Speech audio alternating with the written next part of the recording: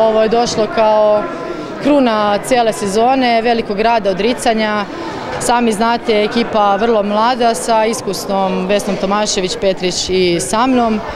Prvi deo sezone prvo, prvo mesto, ostaje eto taj žal što nismo se direkt plasirali u Superligu, ali ovako je možda i zanimljivije. Malo je došlo zanimljivije te baraž, malo bolja igra na gostujućem terenu nego domaćem, ali kažem opet mi je drago što smo baš na našem domaćem terenu pred punom publikom uspjeli da, da pobjedimo i uđemo u Superligu.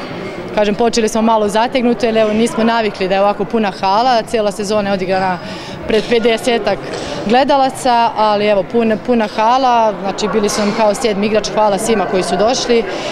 Ovaj grad zaslužuje superligaša u odbojci, ovaj grad je grad odbojke nekad bio i ja mislim da ovo je prvi korak da ga vratimo na put na kome je bio lagano će ići stepenik po stepenik, ali ja kažem da je ovo prvi i najbitniji stepenik. Znači vratili smo se Super ligu i sad ostaje sve na upravi kluba i na gradu, da imamo koliko će to moći financijski se izdvoji da, da se dovede pojačanje i da ne budemo, ovaj, da ne igramo baraž u Super ligi, nego da budemo već negdje na, na sredini tabela. Večeras lakše, nekako je ekipa radničkog došla nezainteresovana za, za, za meč. Utakmica u Beogradu je bila mnogo, mnogo neizvesnija, ali i naša čak bolja igra tamo.